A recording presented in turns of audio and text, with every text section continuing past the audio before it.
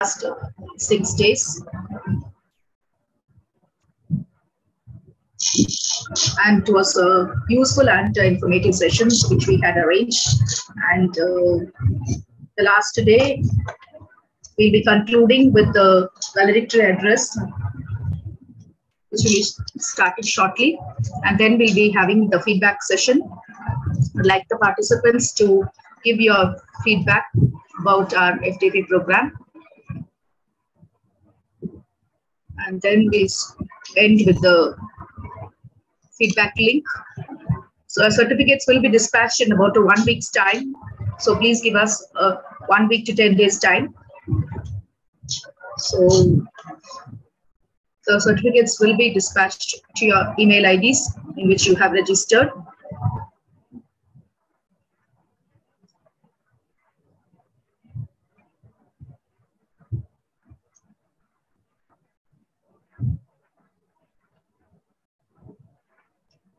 So this uh, program is being live streamed in YouTube also.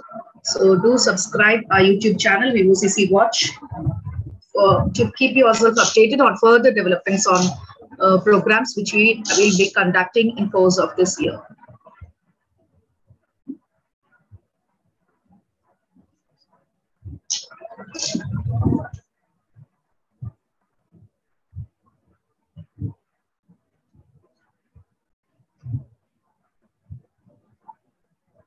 So I'd like to repeat that your certificates will be dispatched in one week to 10 days time in your registered email IDs. So please bear with us. So uh, you'll be getting it in one week to 10 days time, your certificates. For those who have attended all the sessions.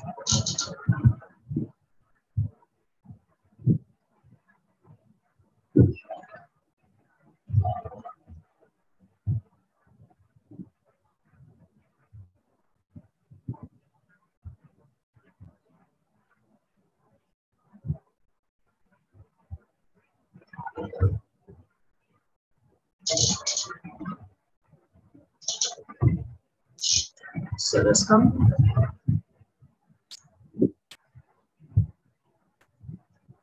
So shall we start, sir? Uh, yes, fine, ma'am. Kiranjali?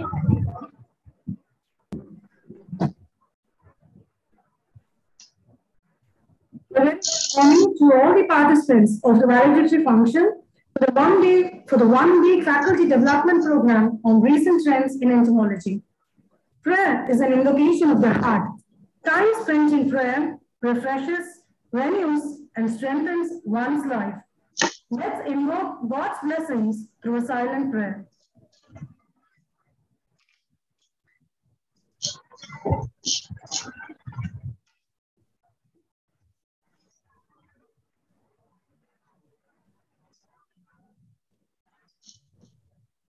A warm welcome is the first sign of hospitality. Words of welcome fill an occasion with warmth and makes one feel that he is meant to be there. I now request our beloved head of the department, Dr. D. Radhika, PG and Research Department of Zoology, V.O. Chidambaram College, the welcome address and introduce today's chief guest, Yeah, a very good morning once again to all of you, to all the participants, and a warm, very warm welcome to you, sir, our uh, chief guest for this valedictory function, and uh, uh, welcome to all the professors from various colleges as well as research scholars who are attending our seminar for the past six days. Uh, so welcome you all. So I'm very happy and honored to have with us a very eminent personality in entomology. So he has uh, accepted uh, very gracefully, has accepted our invitation, even though we contacted him only two days back. And so thank you so much for that, sir. And uh, uh, for a brief introduction of our chief guest. Uh, he is Mr. M.R. Srinivasan, professor at the Department of uh, uh, Agricultural Entomology from Tamil Nadu Agricultural University from Coimbatore. Uh, he has completed his PhD in agricultural entomology at uh, the Indian Agricultural Research Institute, New Delhi. So, in 1994, uh, he has been involved in entomolo- entomological research for the past 27 years. So, he has a very vast and wide experience in this area of research. He has both UG and PG teaching experience, and he has uh, uh, taught courses uh, like uh, beekeeping, storage entomology, pests of the crops, and fundamentals and applied entomology. So these are the uh, topics which he had concentrated as a professor, and uh, he has. Held positions, various positions. He has been the professor and head at the Department of Entomology at Killikulam, and also he has uh, uh, been the associate professor at uh, Killikulam as well as in TNAU Coimbatore. And at present, he is the professor of the uh, entomological department, agricultural entomology at Coimbatore. And um, he has various uh, projects. Well, within past six years only he has given his biodata. That itself he has the amount has crossed several crores several crores of uh, rupees he has got from various funding agencies from new delhi from tamil nadu state council icar and it goes on. So uh, such a vast research experience and uh, he has published about uh, 52 research articles. And there are six books and there are seven books chap- book chapters to his credit. And uh, above all he has trained about 5000 farmers. So that is quite a big number. 5000 farmers and beekeepers on beekeeping. And uh, he has also guided students for his for their phds and master degree programs and uh, he has created a separate website for the benefit of the students and the farmers. So whatever research you do should reach the society. That is what uh, very important, and that he has done uh, very meticulously. And he's created a website where you can refer uh, for beekeeping on uh, by the students as well as for the benefit of the farmers. And uh, with all this great um, experience and vast knowledge, he has come over here to share his uh, expertise on this, especially beekeeping. Welcome you, sir, to the program, and over to you, sir.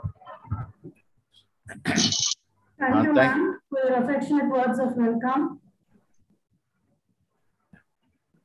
Uh, thank you very much, ma'am. Uh, so I am very much honored to be here uh, amongst uh, the scientists from across the country have uh, joined to attend this uh, uh, program of faculty development uh, program being conducted by the V.O. Chidambaram College, Thuthukudi, which has been accredited by NAAC as well as with, uh, with A grade and also has the 54th position uh, in the NIRF ranking.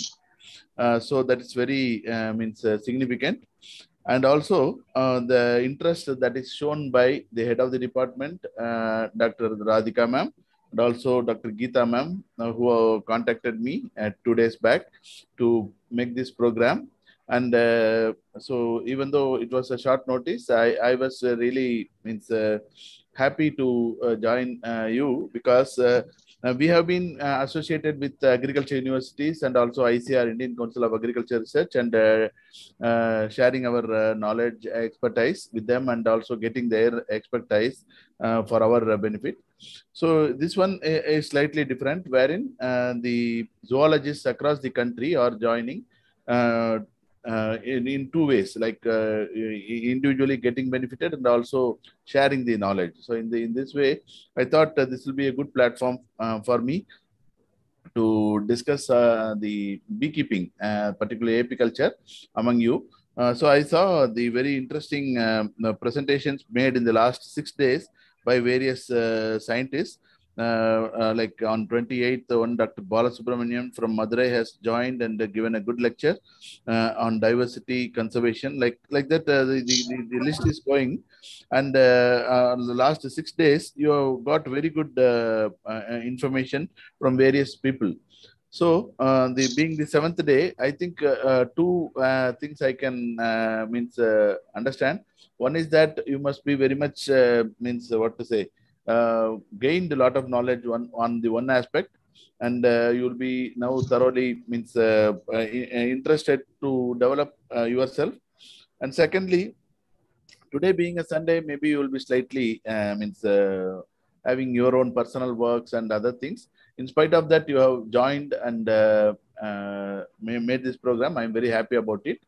Uh, so, uh, Madam gave uh, an introduction about me.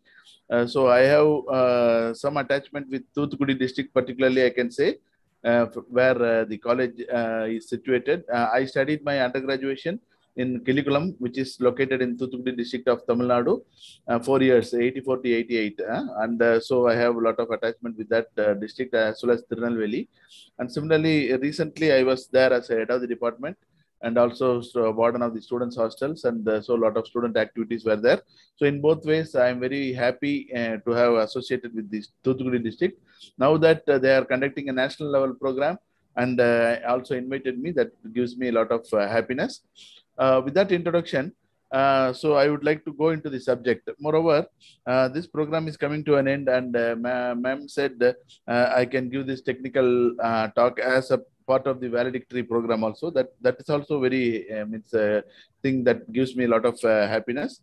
So i appreciate all the uh, organizing committee members uh, whose name i'm seeing in the list. Yesterday madam shared the brochure or the flyer of the program that is really very I mean, uh, interesting. I, I could see that the institute uh, was started in 1951 and has got, got both undergraduate, postgraduate, and MPhil degree programs being offered there. And uh, so, in all ways, uh, the college is very impressive and uh, giving good uh, training to students as well as the teachers. So, in that way, I appreciate the entire uh, institute, uh, the college, and uh, the administration and the uh, entomo- I mean, zoology department. So entomology, uh, I'm an entomologist and uh, entomology is a part of zoology. So it's only a small subject uh, in zoology, but uh, your subject is vast and then you study a lot. So I would like to touch even within entomology, one particular aspect that is apiculture, that you all are uh, aware uh, that apiculture is nothing but beekeeping and uh, the uh, conservation of various uh, uh, bees, not only the honey bees, but also the uh, solitary bees and other native bees that are present uh, uh, in the country. So, uh, so the, the subject deals with that. So I will uh, now the time is uh, 11:15. Uh, I will take up to 11:45. Is that okay? Fine, ma'am. Ah, yes, sir. Yes, sir. You can take your time. Yeah. So I would like to share the screen now. Um yes. Mm, share. Yeah. Just to go to PowerPoint. So PowerPoint. I will just present. Um, Yes, sir. It's visible, sir. Right. Okay, fine. Uh, so uh, the uh, yeah. So, uh, so the topic uh, I have chosen, uh, and also I discussed with Madam, uh, and uh, the topic that I have chosen is beekeeping for enhancing crop productivity, rural livelihood, and nutritional security. Uh, so uh, this topic, why I have chosen is that one is that I am uh, means uh, experienced in this field. Secondly, uh, this is a very uh, important field in the entomology. That is, honeybees being the beneficial insect. All other many other insects are there which are harmful to us. Honeybee is one of the insect that is very most very much beneficial. Like we know so many pests of human beings, pests of crops. We know. So, uh, so there are a lot of things, uh, information about that to study. However, uh, in the ecology, if you see, pollination is a very important area. Uh, you, must have studied the insect ecology, animal ecology, and other things. So, pollination has been one area which has uh, uh, caused the diversity of plants in, in, in the nature. So, in addition to the herbivory, predation, parasitism, and other type of relationships that the uh, organisms are having, pollination is something uh, the that is very very uh, it's an ecosystem service they say. Uh, that is the insects or particularly the bees they are involved in transferring the pollen from one plant to the other. And in this way they are helping in many ways. One is that the yield is uh, increased crop yield is increased if you see from agriculture point of view but if you see from uh, the uh, general ecology point of view this pollination only has increased the diversity of plants in the world Uh, so because of these pollinating insects, there are hundreds and hundreds of different types of plants and also insects that are living in this world. There is a mutual relationship. It's a win-win situation. Pollination is a win-win situation. I can say it's a mutualism where both the insect that is pollinating is benefited and also the crop that is pollinated is benefited in both ways. So that is why I chose this topic uh, where uh, the crop is benefited and the insect is also benefited. And another point of view, if you see beekeeping, uh, it increases the rural livelihood. Rural livelihood means people who are living in the villages, their income is increased because of beekeeping. One is it is increasing the uh, the honey uh, production, and uh, this way they can sell the honey and their livelihood is improved. Secondly, it increases the crop yield. It increases the crop yield in the crops that are present. So in this way, nutritional security is also improved. So in these all these three ways, the beekeeping has been very useful. And uh, but for the stinging of the honeybees, because we are all worried about the stinging of the honeybees. So that is why if some you ask someone whether bee honeybee is a beneficial or a harmful insect, someone may say it is harmful. Just uh, thinking means uh, keeping the uh, honeybee sting in mind. But uh, if you see in all other ways, honeybees are very useful. And stinging also is problem only in the rock bee or the Apis dorsata uh, which is a, a serious honeybee. Uh, and but that is also very, very, very helpful in uh, increasing the crop yield as a pollinator. So in, in, if you see from any point of view, honeybee is a helpful insect. So let me talk about this insect today. Uh, so there are different types of insects that are present. Um, uh, means, uh, but bees that are found in the world. Among them, the, the, the major bee species of the world, the Apis dorsata, which constructs uh, uh, the nests in open and also single combs in open. You can see the picture wherein you are able to see the big uh, comb.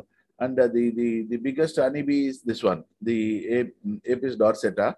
So th this has this is a wild honeybee which cannot be domesticated, and I will tell you more about this in the coming slides. And then Apis florea, it is also uh, not domesticated, but it is not very uh, means you can say very ferocious or anything. So the uh, only the dorsata is very ferocious and it can chase the people and uh, sting them. And many people have died because of these stings. Because if more than for 30 or 40 insects uh, sting, it may lead to poison, uh, uh, means the nerve poison entering into your bloodstream and affecting various organs. and immediately, if you means attend a doctor, if you are attended by a doctor, you, you can be safe otherwise uh, it, it can lead to death so that is the only problem with the, the dorsata but but for that all other insects are not very ferocious. And uh, the first two are non-domesticated. Then and that is apis florea is called little bee and that also constructs single comb in open. Similarly dorsata also constructs single comb in open. Whereas apis mellifera and, and apis cerana um, apis mellifera is called italian honeybee or the european honeybee. That also constructs multiple combs in darkness. And similarly, the Apis cerana, that is also uh, constructing multiple combs in nest uh, cavities. That is called cavity nesting bee. Whereas the uh, rock bee and the little bee, they are called as open nesting bees. So the mellifera and cerana you can rear in the boxes, honeybee boxes. And that is why I have shown the beehive box in the middle. And the last one, Meliponidae, stingless bees. There are a lot of stingless bees in the world uh, in different different types of the uh, stingless bees. And uh, I have shown the nest of this stingless bee in the middle. It is just a clustered nest, not like the uh, the hexagonal cells you can that you see in the Apis uh, gen,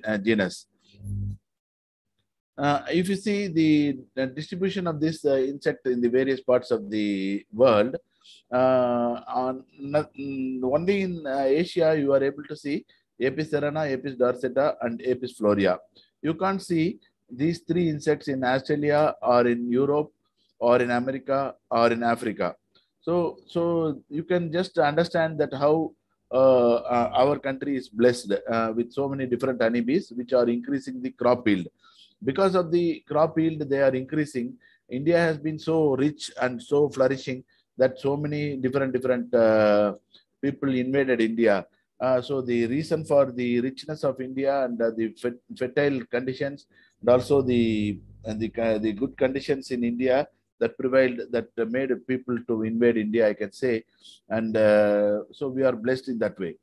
Uh, and uh, let, let me come to the, uh, so, so if you see this map, you can see that Apis cerana uh, is uh, uh, means found up to uh, Japan, China, and other places, whereas the rock bee and also the little bee, Apis dorsata and Apis florea, are limited to India, then Pakistan, then Sri Lanka, and some Southeast Asian nations.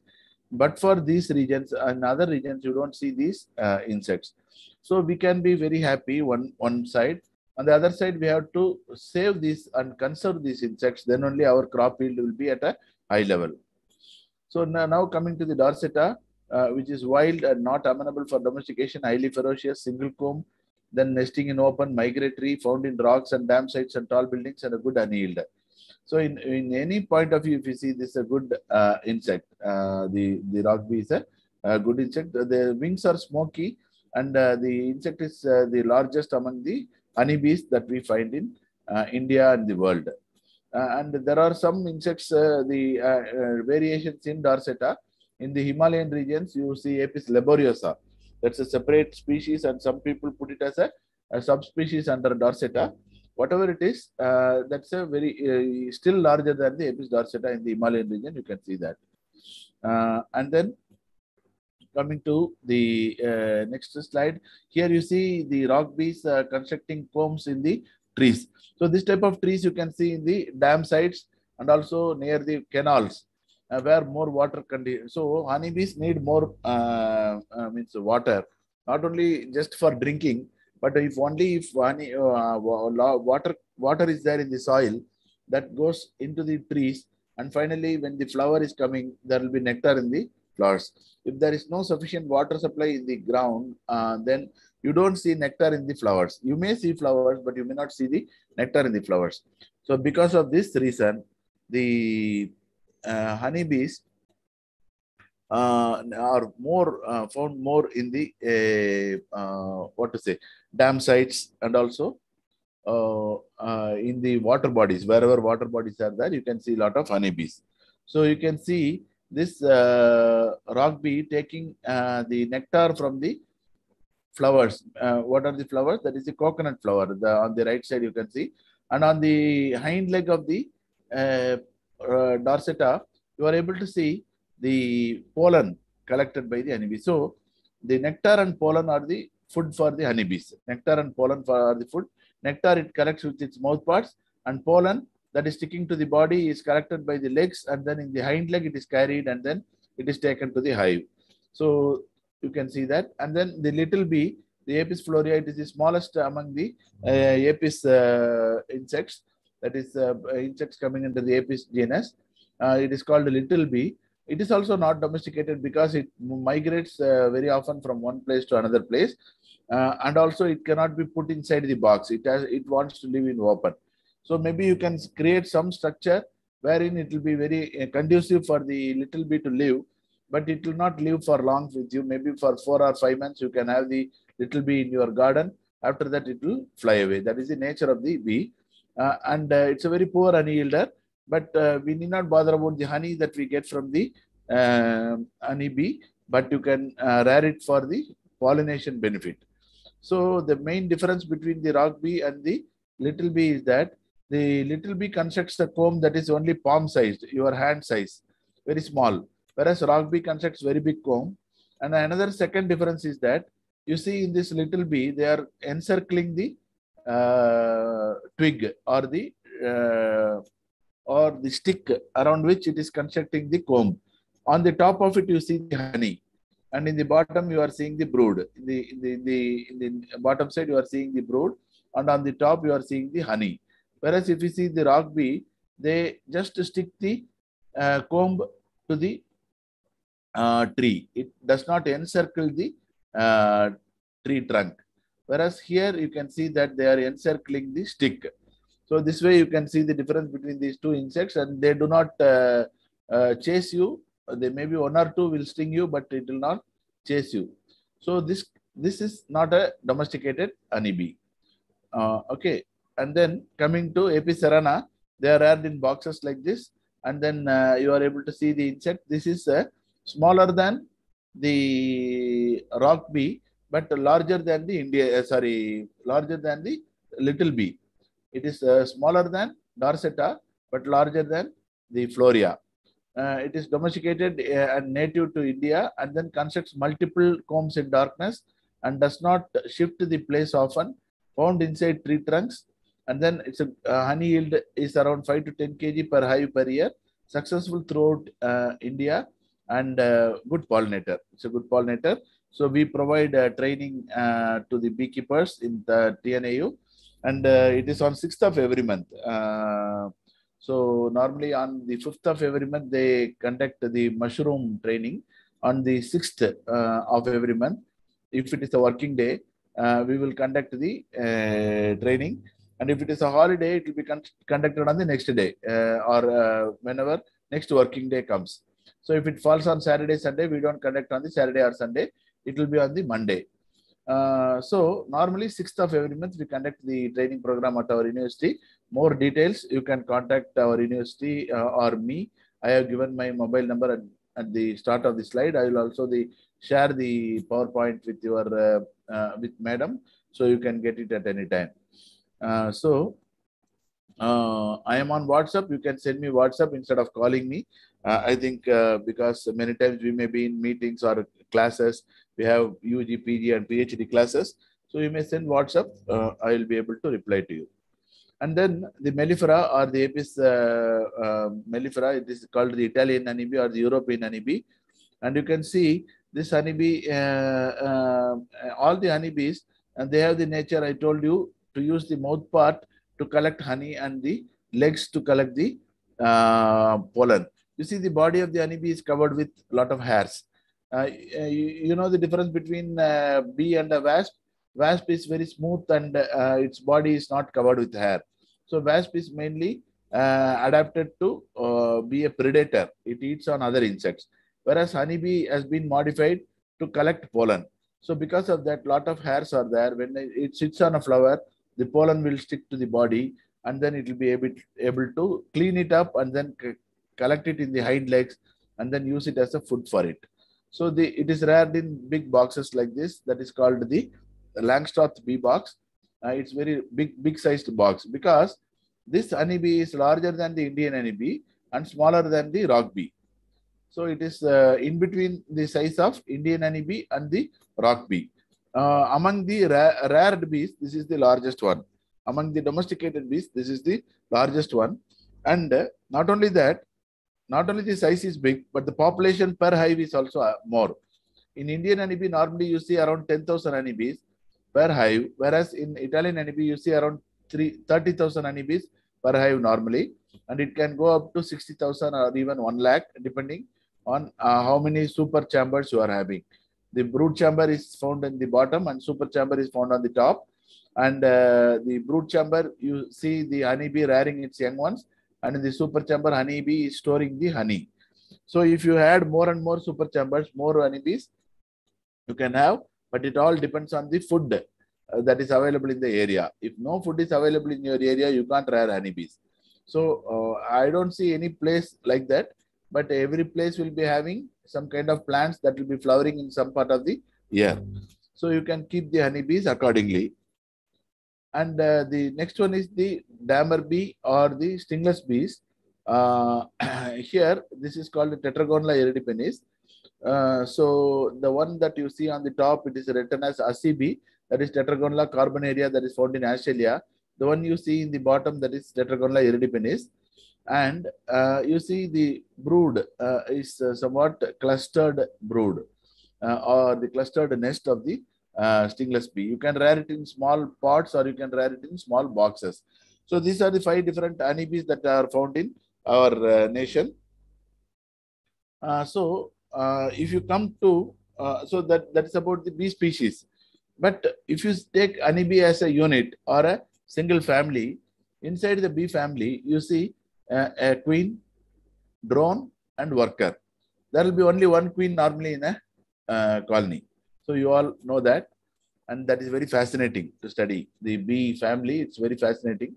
There are a few hundred drones in a colony and several thousand workers. There are several thousand workers.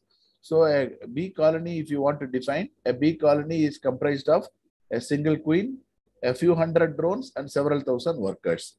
Uh, so the queen is the largest among the three uh, castes. They normally say caste um, in honeybees. It's not like the caste uh, system that we have in human beings, but it's uh, uh, you can say it's a, a different reproducing individual. You can say reproductive uh, community or whatever it is.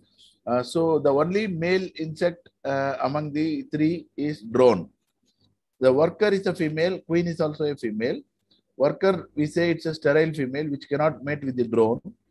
The queen is the fertile female which mates with the drone uh, in the first one week of its lifetime, and then it keeps on laying eggs for the three to four years that it lives in the uh, beehive. So only first one week or 10 days it goes for mating. When it goes for mating, the spermatheca that is present inside the abdomen of the queen is filled with sperms. It may mate with uh, five or six drones or uh, seven or eight drones uh, during the first one week or 10 days. Every time it mates with a drone and then it comes back to the colony, the drone will die and then again it flies back in the uh, drone congregation area and it may be mated by another drone.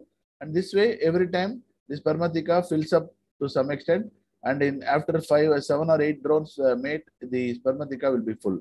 After that, the uh, queen never goes for mating and then it keeps on laying eggs. This is the nature of the queen. So a queen, we say it's the egg-laying individual in the colony. Uh, it's the only egg-laying individual which can produce workers and drones. Uh, and also a queen also it can produce. Uh, so the honeybee queen, if it uh, lays a uh, fertile egg, from that females will emerge. If the queen lays a sterile egg, that is unfertilized egg, from that drones will emerge.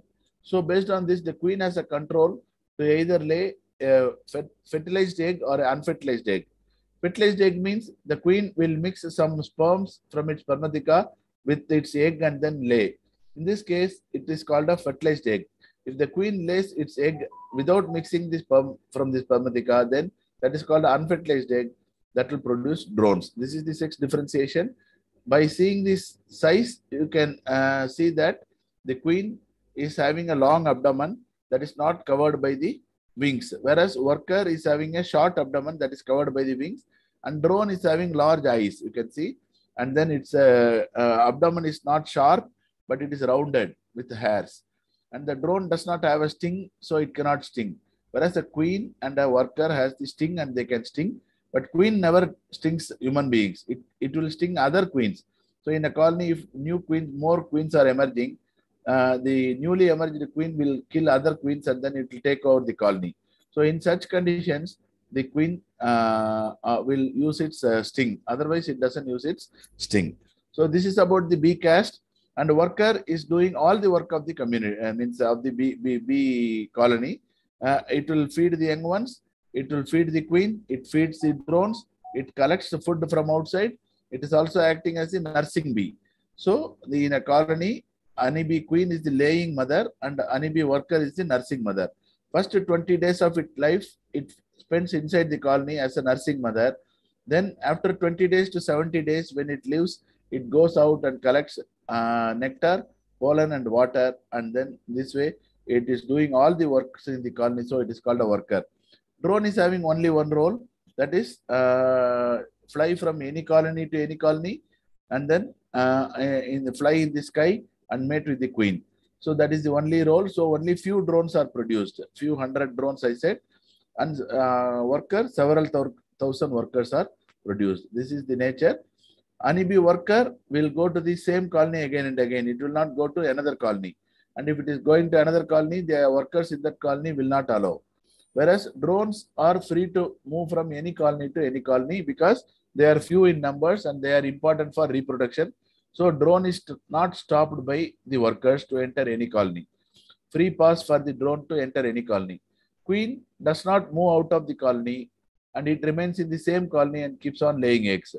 If you introduce manually a one queen into another colony, the workers will not accept. They will immediately uh, sting the queen and they will kill it. So queen cannot go from one colony to another. Worker cannot go from one colony to another. Drones can go. But we have methods to introduce the queen from one colony to other and also workers from one colony to other. We have methods. How to do that? We have to acclimatize the smell of the queen with the colony by putting inside a cage and after some time you release, it will accept after three or four days. Immediately if you release, it will not accept. So such things we should understand while doing the beekeeping. And uh, see here, these are the photographs. Uh, the one on the right side where a marking is made on the uh, uh, thorax of the queen, that is the queen. And in the middle, what you are seeing is the drone. And on the left, what you are seeing is the, that is the worker. So the queen is the largest and in between is the uh, drone and smallest is the worker. So this is the egg of the honeybee. The honeybee has laid the egg in the middle of the cells. You are able to see that one queen will lay only one egg in a single uh, cell. Uh, you know one thing, the workers, I said they are females. And suddenly when a queen is lost in a colony, and if no new queen is introduced or produced, then the workers, they start laying eggs. Uh, because uh, the ovary develops in the worker, but it will not mate with the drone, but it will start laying eggs. So when the worker lay the eggs, they will lay more number of eggs per cell. So from that you can know that there is no queen in this colony, only worker is laying. When worker is laying egg, it will lay only unfertilized egg because, because it is not mating with the drone, it will lay only unfertilized egg. So because it is laying only unfertilized egg, only drones will come from the eggs laid by the worker. So these are the things that we should understand. This is the larva of the honeybee, uh, C-shaped grub. And after they become pupa, they are sealed by the workers with the uh, wax that they produce in the abdomen, their abdomen. So in this uh, comb, you are able to see the worker larva and uh, the pupa that is sealed by the uh, cells. And then there is one cell with uh, pollen that is collected. You are able to see one or two cells that are collect pollen. So this is the uh, thing. And then the queen lays the egg and then worker will give first two days royal jelly. Royal jelly is nothing but a milk-like substance produced by the worker in its hypopharyngeal glands or salivary gland. And that it gives as a food. Uh, it's very highly proteinaceous and also fat content in it. Uh, that uh, is secreted by the worker and then given as the food for the honeybee for the first two days. And after third day, it will give pollen and nectar mixed that is called bee bread that is given to the honeybee. And then after a few days, they just uh, become pupa. And when they become pupa, they are sealed by the uh, honeybee. And after 20 days or something, the adult will come out. After 12 days or 15 days, the, the adult will come out. This is the life cycle of the honeybee. If you see the total life uh, cycle of the honeybee, the queen emerges within 16 days. Uh, and but live it will live for around uh, maybe five years uh, maximum in uh, the mellifera. In cerana, it lives for around two years. Uh, so, so it develops in the shortest time, but it lives for longest period. I said the, the royal jelly is given for first two days. That is only for the worker. But if it is queen, if it is become going to become a queen, they will be given only royal jelly. That is that is why it is called royal jelly. It is a food for the royal.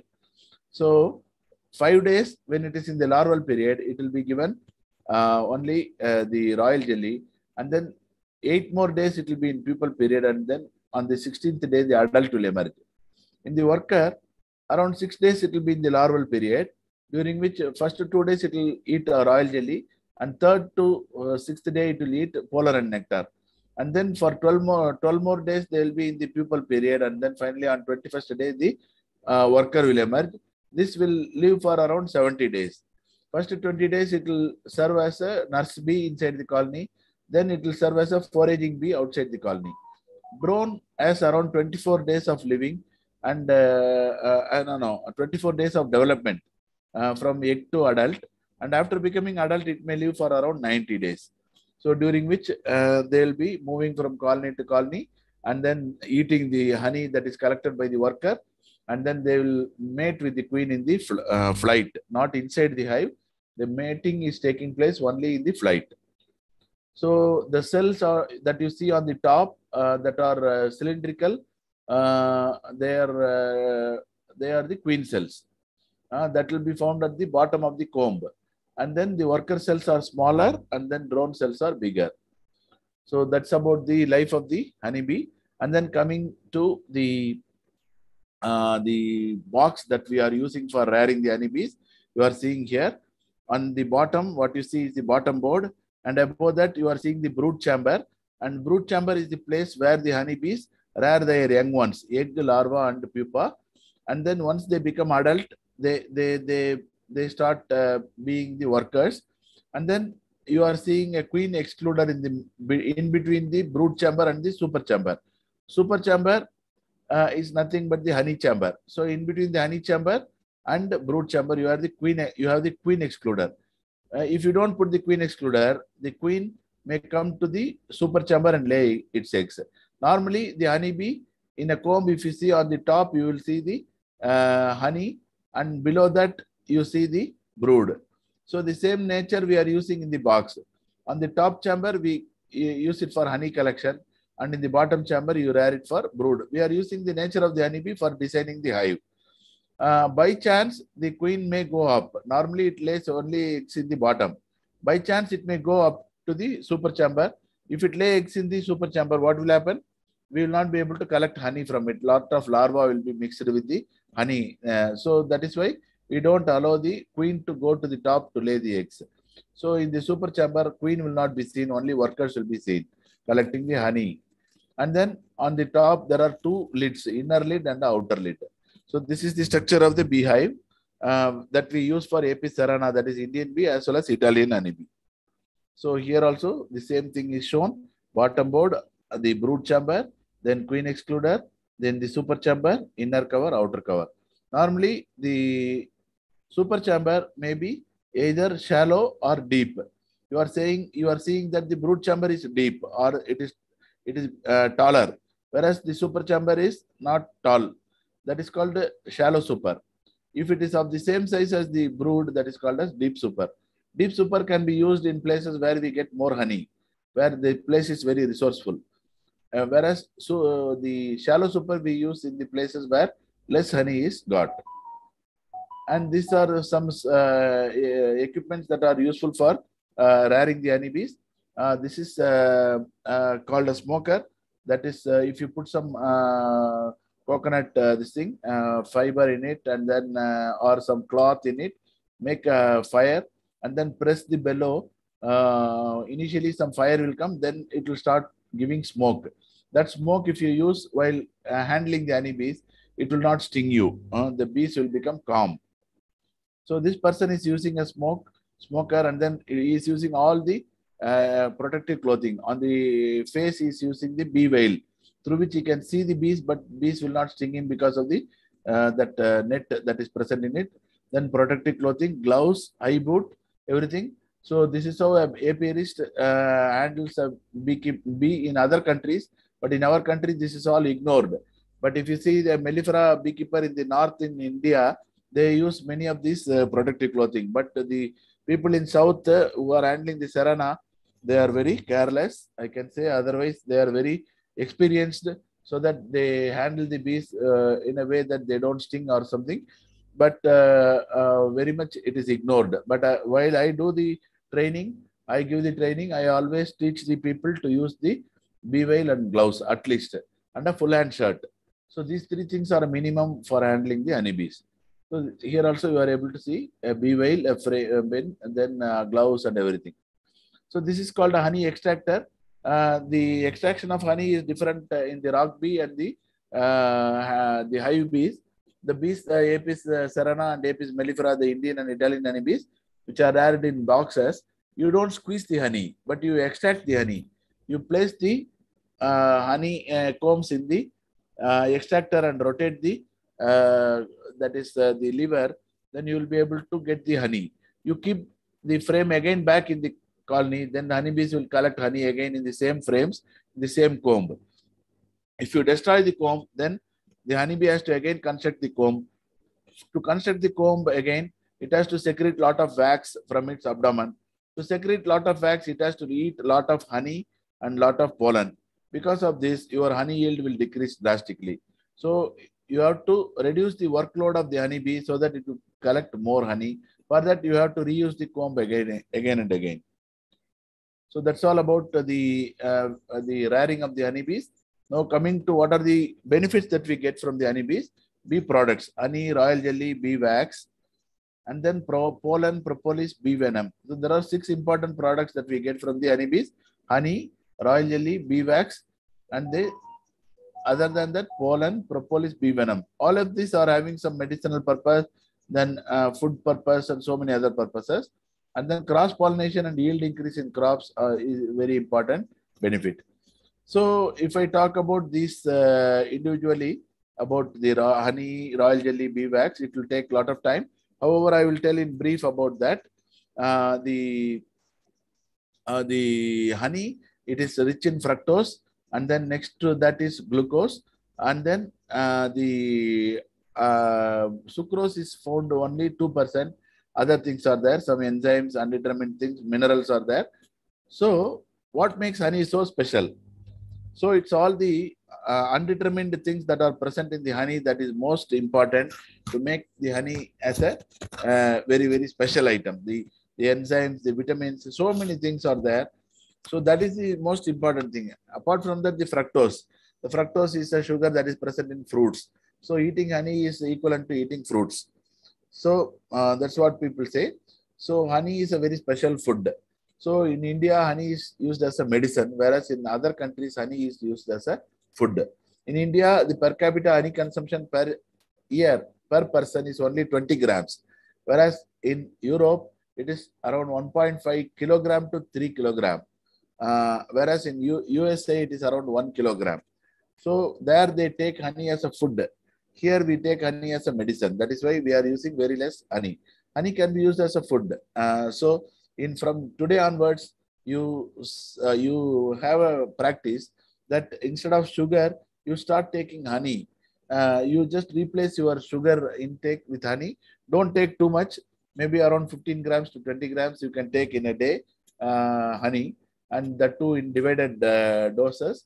Uh, and then in the morning, if you take honey, and then you go for walk, you you will find it very brisk because glucose immediately uh, gives you energy. Fructose takes some time to release, get released, and then so so immediate energy and slow release also is taking place and then all the other benefits that you get from the honey uh, uh, that that prevents uh, your muscle breakdown and so many other things in the night if you take honey uh, before going to bed in milk or uh, water that is going to give you good sleep uh, for the night so in any way before exercise or after exercise before going to bed or any any way you can take honey. Uh, uh, uh, that's a very good food.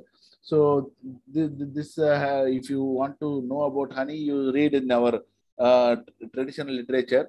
Even the medical doctors nowadays they start pre pre prescribing honey as a food. so that is what.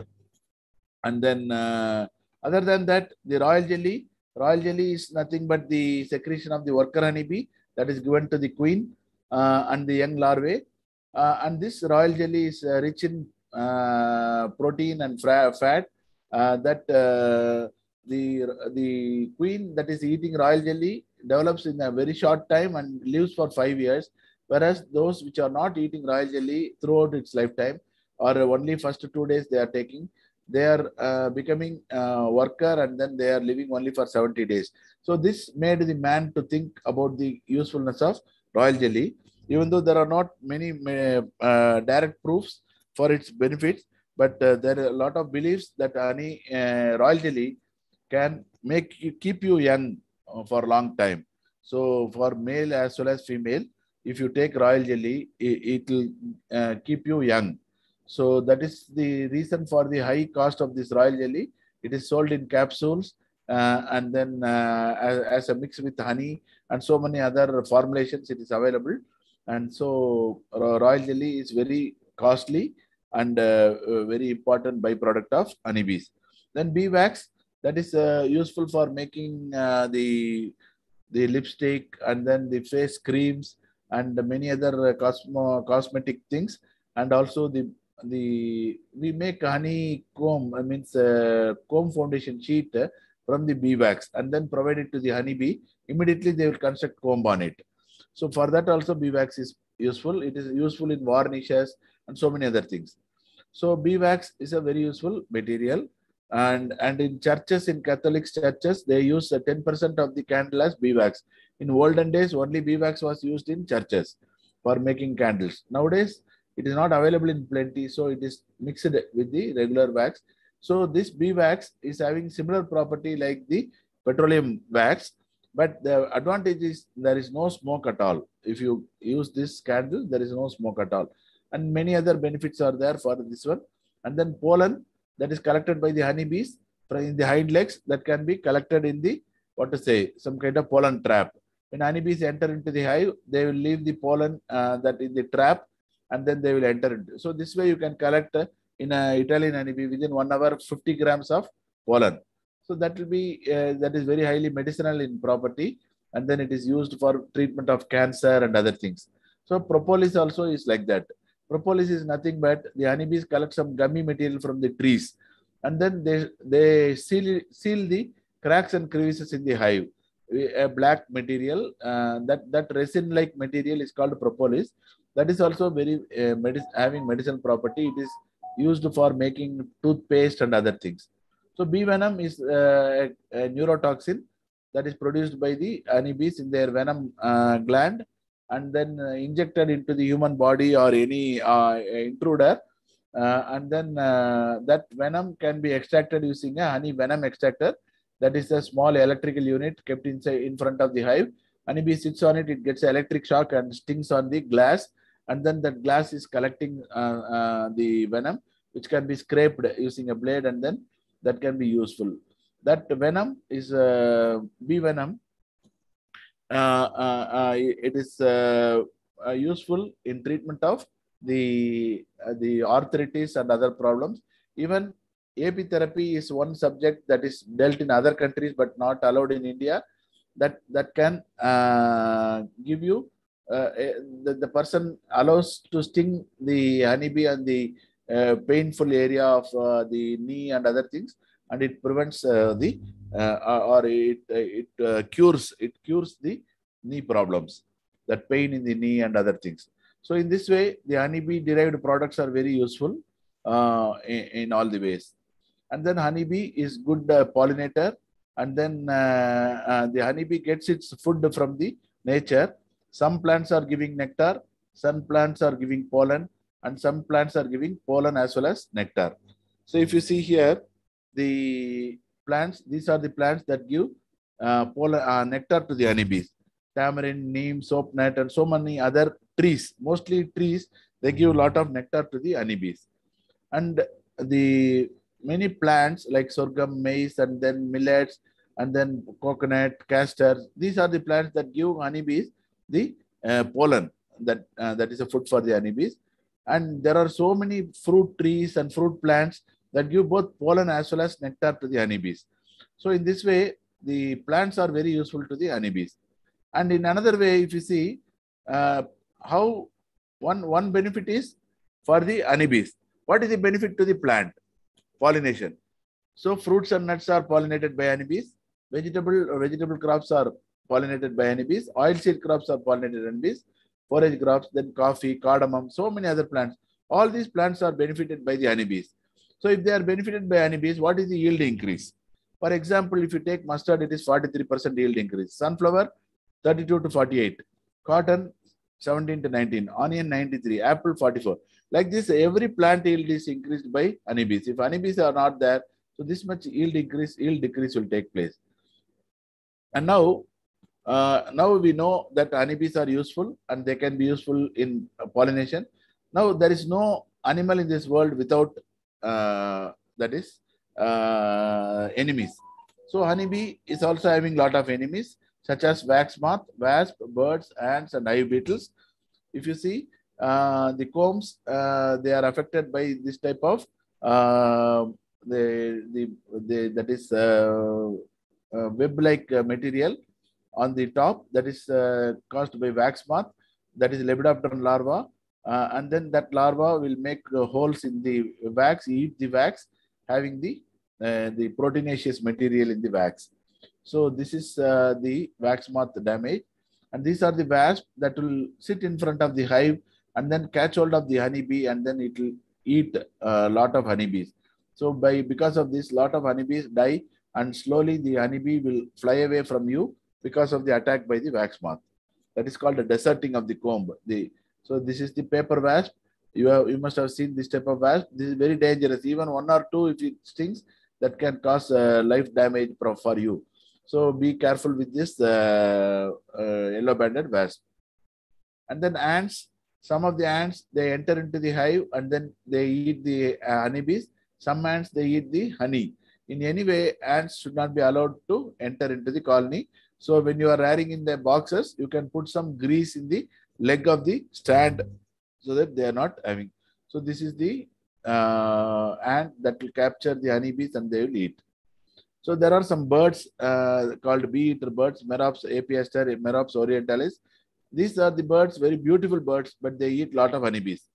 So sometimes uh, uh, when other crops are not there in the field, only honeybees are there. So they will, in a large number, they will be sit, sitting around the apiary and then they will be eating the honeybees and reducing the population of the honeybees.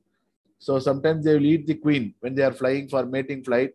They will eat, they will capture and eat the queen, and you will not get back your queen because queen is very large in size. Easily it can locate the queen and eat the queen. So that is also a problem. This is also a black uh, drongo. Uh, eats on the uh. And there are some mites that are present in the honeybees. These are eight-legged creatures, acari, and uh, there are um, uh, both the, uh, the endoparasitic and ectoparasitic. Ectoparasitic means living on the outside of the body and eating the blood of the honeybee. So like this ectoparasitic, whereas this is endoparasitic going into the trachea of the honeybee and then eating. So all these things can be cured using sulfur or formic acid and other treatments. And there are so many diseases of the honeybees, such as the viral disease. So just like the COVID that attacked us, and uh, uh, this is called the Thai brood virus. Uh, this virus has uh, caused a very serious problem to the Indian honeybees in uh, Tamil Nadu, particularly in the 80s and 90s. Even today, it is causing around 20 to 30 percent of the loss of the colonies. There is no cure for this, only uh, hygiene for this and there is no vaccination or anything. We are trying various molecular methods such as the uh, gene silencing and other methods, but uh, so far no uh, concrete success has been got. Uh, whereas some plant products such as the papaya leaf extract and then turmeric powder uh, are given in the fruit, sorry, sorry, feeding. Normally when honeybees are not getting food from outside, we mix uh, sugar and water and then provide us uh, sugar solution to the honeybees and the honeybees will eat it and then they will become stronger. So in the sugar solution, you can mix some, plant products and give and then it can give some protection against this virus. And then the European foul brood, this is a bacterial uh, uh, disease. This gives a bad smell, so it is called foul brood. Uh, this can be cured using some antibiotics, but antibiotics are not recommended in the honey beekeeping nowadays. So it is better to discard the colonies. And then uh, minimizing the pesticide hazard. Nowadays, uh, the bee decline is taking place worldwide. Worldwide bee, bee decline because of the toxic effect of insecticides. Then uh, the habitat modification. You are cutting down the trees. We are cutting down the trees. And because of that, large the, the place to live uh, for the open nesting honeybees as well as cavity nesting honeybees is lost. So because of that, the bees are decreasing in number. So we have to uh, rear large number of honeybees and then uh, we, we have to keep our yield in high uh, levels. So the insecticides you have to avoid. So how to avoid insecticides? You don't spray during the flowering period of the crop, one thing. You try to spray in the evening hours instead of morning because morning more of the pollen will dehisce and then uh, honeybees will be seen on the flowers. In the evening hours, less honeybees will be seen on the flowers. That is one way. So in these ways, you can and you can go for pesticides that are causing less harm to the honeybees, like like biocontrol agents and other things.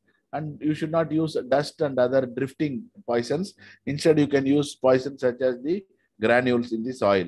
So in this way, you can prevent uh, selective poison, selective toxins, and then uh, biocontrol agents. In this way, botanicals like that you can use neem and other products you can use on the plant. This way, you can minimize damage to the honeybees.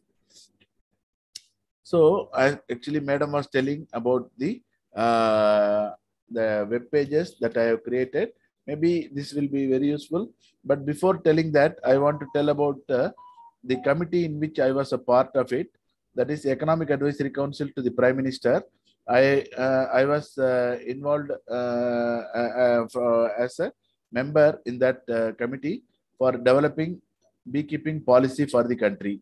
This happened between 2018 and 19. So I will just show that uh, PDF to you. This is the Beekeeping Development Committee report. You can download it from the internet. The link is given. Uh, in this, uh, every every aspect is given about the the honeybees, and you can just see that uh, there are some information about see the bee products, diversity of the bees, various bee species, and then uh, the bee products, what is the pro pollen, propolis, royal jelly, and all those things, and then the recommendations. Finally, the recommendations of the beekeeping uh, committee is given how to improve beekeeping in the country. Uh, so I have given the link for it. So it was a very uh, means prestigious uh, committee in which I was part of it. Uh, and maybe you, you can see this one thing. And then um, coming to the web page that I have created, you can just see my web page. it is present and just as you can type my name and TNAU, you can see my web page and then I have given link for all these things. Here I have given the link for entomology and resources and then beekeeping resources. If you click the beekeeping resources, you can see a lot of information in that.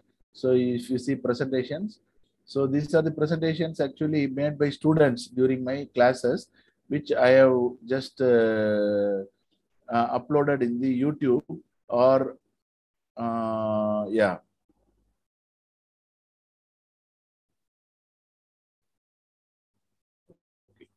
So is is it audible what I am talking? Yes, sir. Yes, sir. Fine, fine, no problem. Actually, it says low resources is affecting your audio audio quality. Okay, maybe fine. So these are some of the PowerPoints that I uploaded.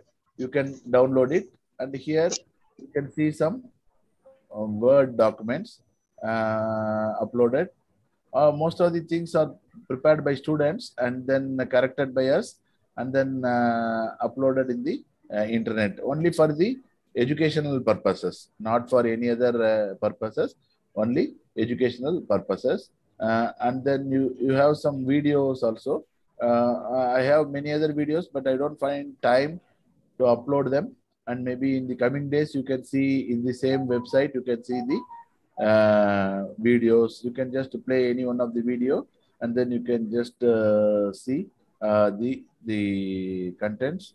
So, for example, catching uh, feral uh, feral colony, just uh, the video. hiding the feral colonies of Indian bees. So this is how. So you can just uh, see there are some things in this. Take care that the queen bee should not be damaged. Yeah, this is the contact detail. So this is about the beekeeping resources, and then uh, if you see the sorry.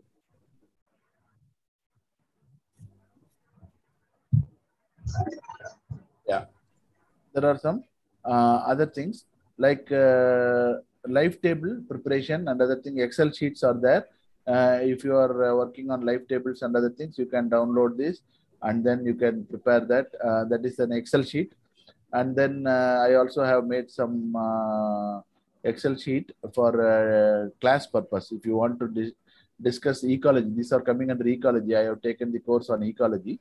So fitting population growth models and also testing the distribution, uh, random and clumped, these things, and then probit analysis. probit analysis uh, mainly uh, for uh, the insecticide toxicity analysis. This can be useful in many ways.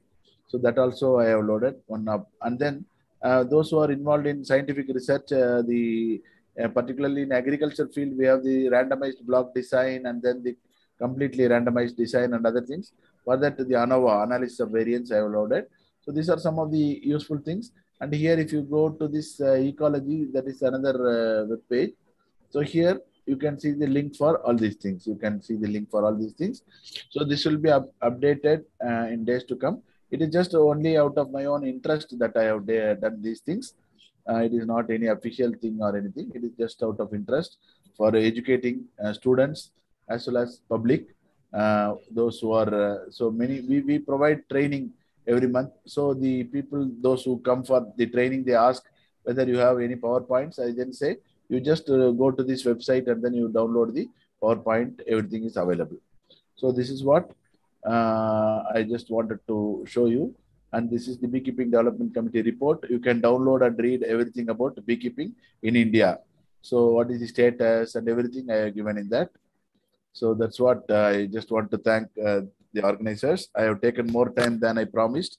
Uh, so thank you very much. Any questions or anything is welcome. Thank you.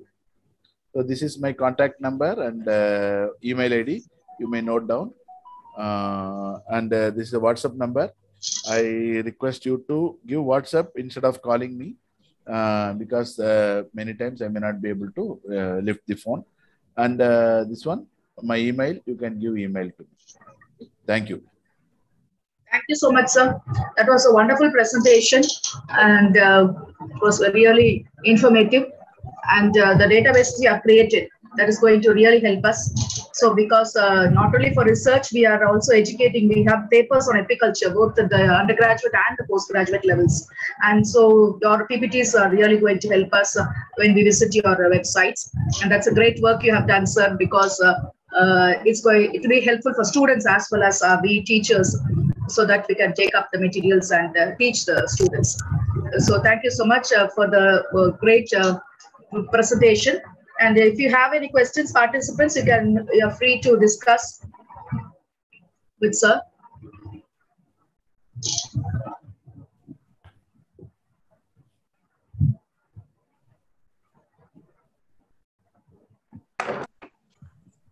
Uh, excellent presentation, madam. I would like to have a few clarifications. Yes, sir. Yes, sir. Please. I'm, I'm Ramakrishnan from Sogasi Ayyanadar College excellent presentation. Even then, I would like to, I'm having some few clarifications. Okay, the sure. first one is the due to the occurrence, incidence of Galleria mellonella, great wax moth, giant wax moth. Yeah. What are all the, uh, yeah, how to get rid of from those uh, Galleria mellonella? And especially we are facing uh, very severe trouble during the summer, especially during summer. Uh, what, what are all the strategies to be carried out to overcome the summer? Okay.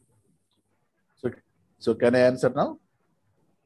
Yes, sir. And then, especially in the in the even then in this summer, summer condition also, which species will be rearing will be ideal.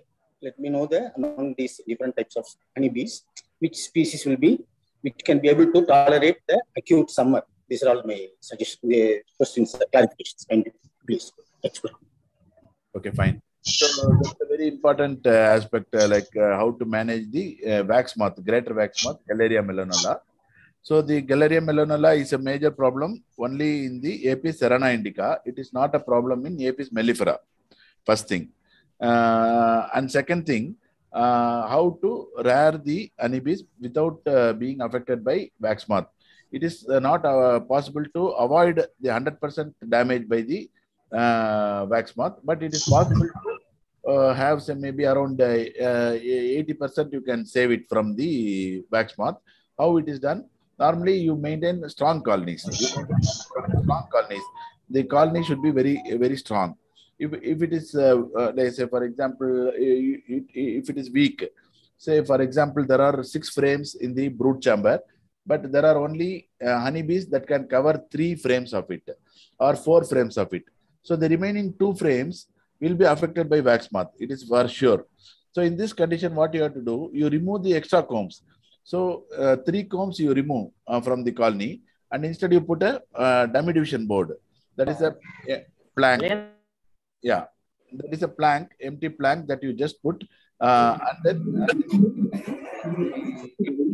three extra frames you remove, and then store it store it in a safe place, uh, so that it will not be affected by the wax moth. You can put it in a drum or something, and then put some the uh, naphthalene balls or uh, the any uh, insect uh, proof material means uh, the, the material that we use for preventing insect damage. So such such material you can put inside and then you can close it. Uh, so in this way you can prevent the uh, damage from the wax moth and uh, in particularly in summer conditions only this is a problem because there, there is dearth of food. Outside there is no food. So in that condition you give artificial feeding. One is one sugar and water you mix and then you boil it and then cool it. After cooling it you provide in uh, small containers and then put some sticks in a, inside so that these will not fall in fall and die. Uh, otherwise you can put it in a bottle and then cover it with a uh, cloth and then invert it inside uh, the uh, hive so this way you keep give a lot of food so if a lot of food is there then the bee strength will be more when more strength is there wax moth cannot enter and then another important aspect is the hive box should be made of good quality wood and there should not be any gap in the sides normally. So only in the small gaps, the wax moth enters inside and then lays its eggs. So always use a good quality wood uh, and good quality hive. Many people compromise on the quality of the hive because it is available cheap in rate. So 300, 400 rupees, they get the hive. But normally the hive costs around 1000 rupees or 1500 rupees. So you find out a good hive and then you buy it. So in this way, uh, and then you clean the bottom board every uh, 10 days or 15 days. Remove the wax moth eggs that are uh, laid on the sides. Any pupa is there also you can remove. Uh, so such things you keep removing. In spite of that, if it if your colony is affected, you just uh, remove the bees, uh, shake the bees inside the hive, and then take it to sunlight. If you keep it in sunlight, all the larva that is present inside will run out. So they just crush them. Don't keep the uh, frame for a long time in this uh, sunlight because the wax will melt. So just keep for short time, the the larva will come out. Then you crush the larva. So these are the ways how you can prevent the uh, the wax moth damage. So mellifera is less affected by wax moth. You can go rare this mellifera in places where there is more problem of cerana. Uh, so these are the things. Uh, and uh, so rare the box with high high high population, high population, then it will not be affected by wax moth. That's what. Okay, thank you, sir. I'm having one more- one more clarification. So, is there any possibility to preserve the honey, store the honey, collected honey using the honey extractor? Yeah. it- Yeah, normally what, what we do, Yes. we do we do what is called as processing. Processing of honey is nothing but heating the honey to 60 degrees centigrade, keeping it for 30 minutes, and then uh, bottling them. After cooling, after cooling, you have to bottle them. In this process, you can kill the yeast cells in the uh, honey. Uh, th- that way, honey can be stored preserved for one year without fermentation. Otherwise, raw honey, if you collect and then keep in bottles uh, without uh, processing, it will get fermented within two months period. But raw honey has a lot of benefits. Many people will ask for raw honey, give them raw honey. Uh, but if you want to sell it in market, then you have to go for processing. In Marthandam, Kanyakumari district, uh, that is the hub of beekeeping in Tamil Nadu, they do this uh, manually uh, by keeping uh, water in a container and then uh, inside that they keep the uh, container with honey and then heat it. They allow the water to boil, but the honey will become frothing. No, they don't allow the honey to boil. At this condition, they keep it for half an hour and then they cool it and then filter it through cloth and then finally bottle it. In this way, you can preserve the honey for long period, up to one year. Normally, honey does not have any spoiling time. It will become fermented. It will become dark. When it becomes dark, we say that it is having more HMF. So these are not good honey standards. They will not pass the standards uh, for honey. So otherwise, uh, does not cause much harm if you eat the fermented honey or that honey that is having more F- HMF, that is hydroxymethyl furfural. It will become dark. Uh, that is that is the reason for uh, that darkness. So these are the things. Marthandam OMCA, is that? Is it OM OMCA? YMCA is one thing, but you have the Marthandam Beekeeper Society. You just see the website, Marthandam Beekeeper Society. They are having more than thousand members in that, and then every person gives the honey, and then they get it, process it, and then they bottle it, and then they will see. Not only that, the Khadi and Village Industries Board in Kanyakumari. So these are all present in Marthandam. That is the hub of beekeeping in Tamil Nadu. Uh, now North India, they have gone much ahead of us. Earlier, up to 80s, we were the top in honey production in India, but now we are at the bottom. Now, now the Uttar Pradesh, Bihar, Lucknow, sorry, Uttar Pradesh, Bihar, and then uh, all other states in the North India, they are doing very good uh, mellifera beekeeping, but they are also affected by low price. Why low price? Because of adulteration. Adulteration is rampant from China. Now the lot of syrup honey has come and then the you must have recently sta- read the article made by Ms. Sunita Narain in the uh, that is um, uh, what is that uh, so Council for Science and Environment. She has made a very good uh, paper on that. So in the Down to Earth magazine, you must have studied the problem of adulteration. Because of adulteration, honey price has gone down. So all these things are discussed in the uh, that is uh, honeybee policy that has uh, we, are, we are given in the Economic Advisory Council to Prime Minister that the BDC committee report. You can see all these things, how to overcome this, all these things we have given this. That's what, sir. Okay, thank you very much, sir. Welcome. So you have one question in the chat box also. Uh, what kind of microorganisms are present in the raw honey? By Dr. Kavita Bharati. What kind of microorganisms are present in the raw honey?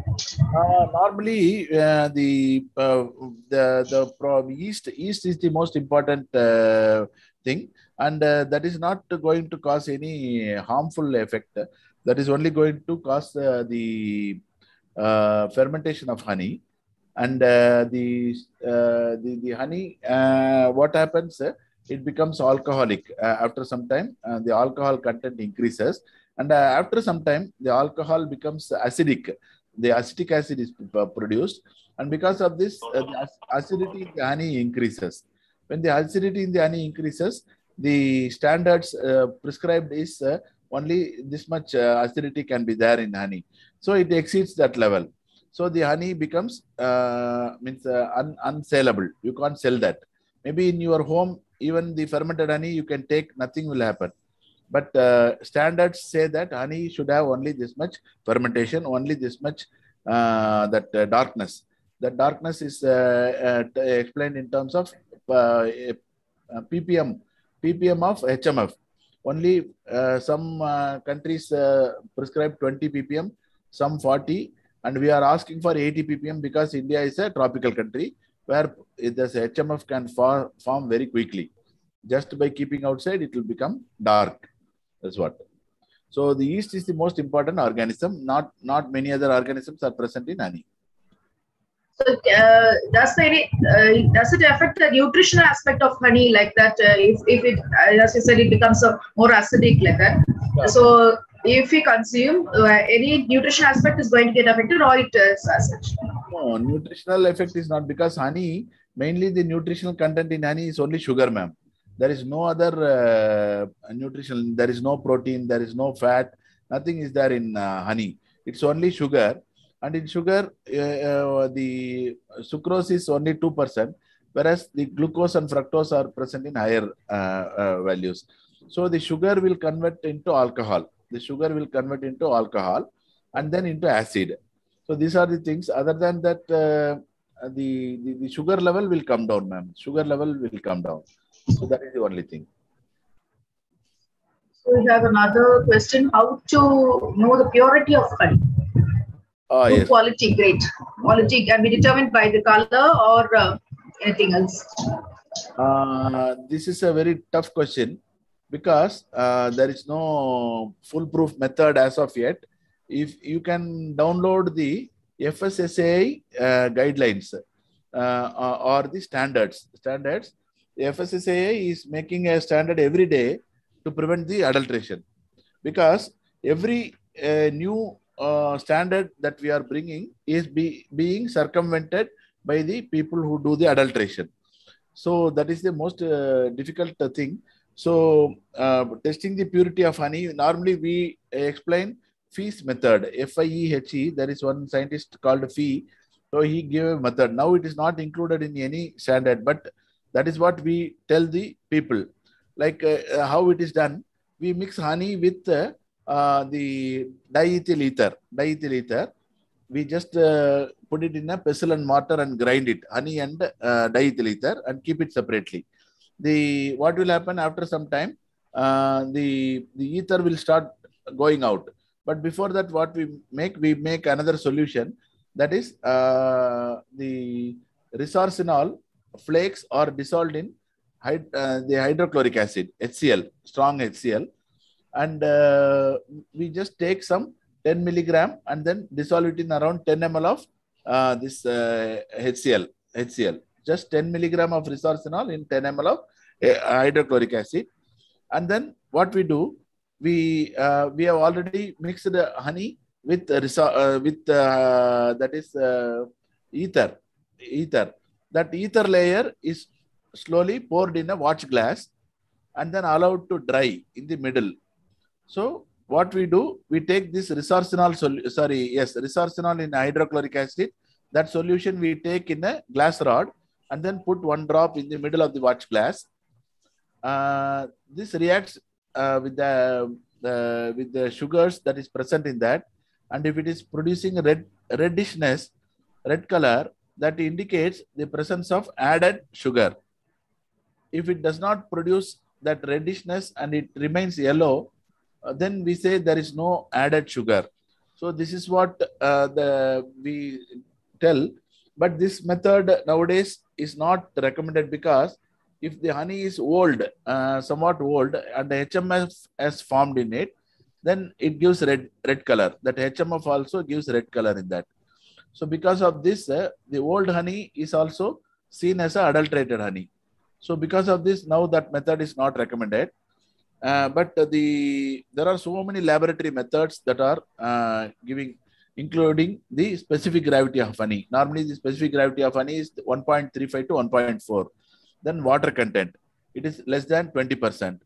And then uh, the fructose to glucose ratio, it is normally one or more than one. And then the uh, sucrose content, normally it is less than 5%. And then uh, you have the HMF, normally it is around 40 milligram or less than that. Then acidity, uh, there is some percentage, uh, uh, like the acidity is measured in some value, and then that, that is also given. So, like this, there are around 18 parameters. If honey fulfills all the 18 parameters, it is said as good honey. And recently, they have included many molecular techniques also because they are mixing the plant based syrup like rice syrup, beetroot, beet syrup, then corn syrup, cane syrup, all these things are fermented and then the fructose content is increased in it and it uh, tastes very similar to honey. These are called syrup honey. So the adulteration has gone to very high levels. So how to uh, prevent that? So that is why some molecular methods also, the latest method they are recommending is called NMR, nuclear magnetic resonance. And uh, that uh, instrument is uh, available only in one laboratory in the country, entire country. In the NDDB uh, laboratory, they are having. Uh, and uh, apart from that, you have to send it to Germany to see the purity. So these are the problems with the testing the purity of the honey. That is why in the BDC recommendation, we have recommended the traceability of honey. Traceability means starting from the origin, from which uh, hive it was produced, which apiary it was produced, up to the market. Now you you must have been seeing in Amazon or Flipkart or whatever it is, the day you uh, order it, from the time where it is packed, from the uh, till the end, time it reaches you, you are able to track it. That is called traceability. So that traceability you should bring in honey. That is the only solution to prevent tra- means uh, adulteration. This is what we have recommended in the uh, honey that recommendation. Is what sir. So Have any questions uh, there in the chat box, sir? Yeah, yeah, yeah. How many kilometers does a honeybee travel to gather pollen or honey?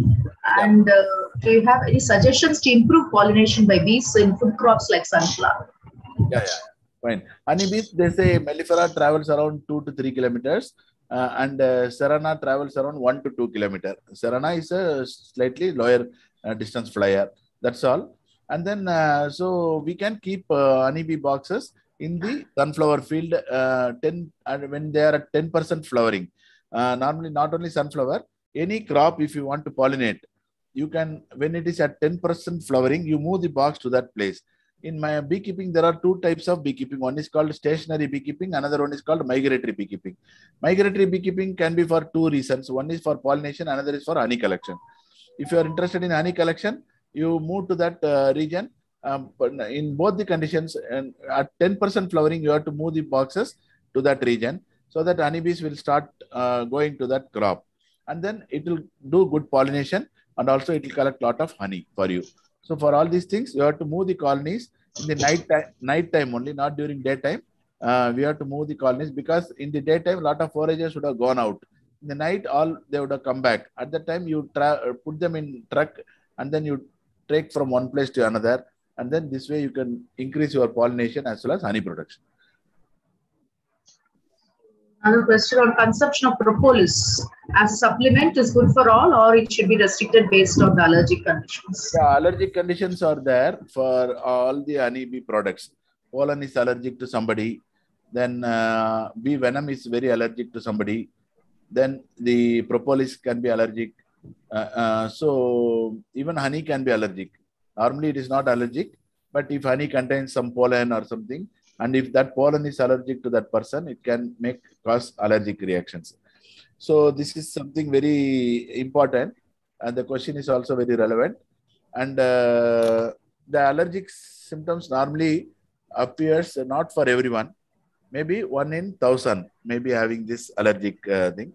And uh, in our uh, country, we are very means uh, not seriously bothered about this, but in other countries where they are very seriously bothered about this because the consumption is more. In our country, the consumption is less. There, the consumption is more. So we have to test it. If any allergic reaction is there, we have to discontinue. Uh, that is there is no question about it. Venom also can be allergic to somebody. If honeybee stings in one place, you you will see there is swelling. Second day there is irritation, and third day it becomes fine. But if for somebody, the after stinging, if there is some reaction on different part of the body, so it is stinging on your hand and it is causing reaction on your face. So such things you have to immediately go to a doctor and take antihistamines and then uh, any other uh, therapy that the uh, the doctor prescribes you have to take. Uh, so that is the only thing. Even pollen can be allergic. Uh, that day one person told me uh, he took some hive that along with the comb, some honey, and immediately he got some irritation in the mouth and then he, he, he fainted. So such things, this is one in one lakh. Maybe you can say one in one lakh, this type of problem can come. So we need, we need not be worried about it. So you just uh, test it and not, uh, it is not like guinea pig or anything I'm saying you test it like that. It, it can be a problem only one in thousand or one in one lakh. So uh, so you, you have to be careful. I can't say that you can just like that you can do that. You have to be careful. But it is very rare condition uh, that uh, we are seeing. We are teaching every day. We are training, giving training to so many people, but we don't get complaints from many. very, very, very few, extremely few. Yes. Yeah. I have a question, may Yeah. Am I audible, ma'am? Yes. Yes, sir. Yeah, actually, uh, I want to know. Uh, there are two, two small questions. That uh, is there any training program or uh, what training programs we can have so that we can know more about this beekeeping and all that for a young entrepreneurs? And the second question is about the medicinal properties of this honeybee. Yeah, yeah. Actually, uh, there are training programs in various uh, parts of the country and uh, particularly with respect to Tamil Nadu, uh, in Tamil Nadu Agriculture University, we are providing uh, training on 6th of every month. It's a pay and learn training program. And they, they charge around 590 rupees, including tax. it's a one day program only. 6th of every month, uh, morning 9 o'clock to evening 5 o'clock. And then a certificate will be provided. Uh, and then uh, a booklet will be provided. So uh, that will be very useful to start a beekeeping. And then uh, National Bee Board, National Bee Board is now uh, sponsoring uh, seven-day training programs uh, throughout the country. So you can identify some um, that institutes, agriculture universities, and also the KVKs, Krishi Vigyan Kendras of ICAR, and other things uh, who are in, uh, involved in. Not only that, uh, many skill development programs also given to the the national level institutes. You can just uh, contact, and uh, also you can see the website of National Bee Board. Uh, that is NBHM, National Beekeeping and Honey Mission, and then you can know uh, we, which are the training providers, and then you can contact them and get the training, seven-day training. That's uh, sponsored by National Bee Board. So these are the training programs that are available at uh, national level. Horticulture is the department which is mostly concerned about because national horticulture mission they are uh, providing funds. So in this way uh, you contact the horticulture department in your area. They may be able to give you uh, more information on that.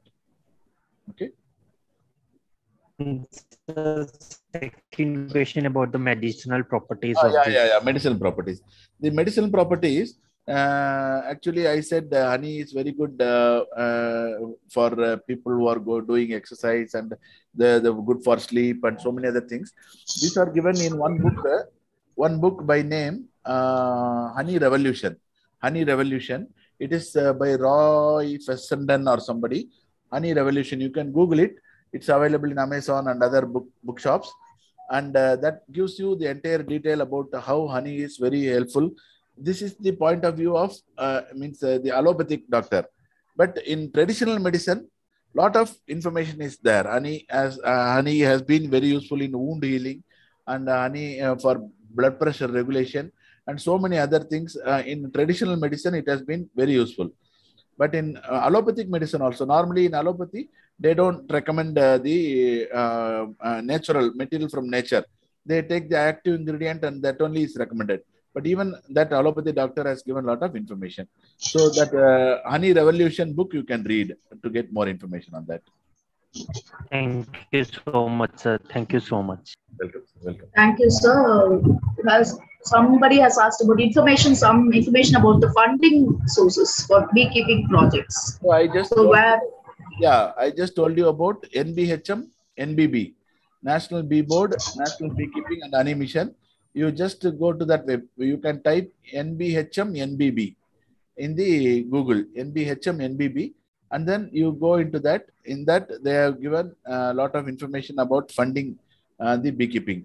Uh, so uh, you can but what is there? Uh, they are uh, mostly in, in the development side not on the research uh, side for the research side, maybe you can approach DST uh, or PPT, depending on the depending on what type of project you are making.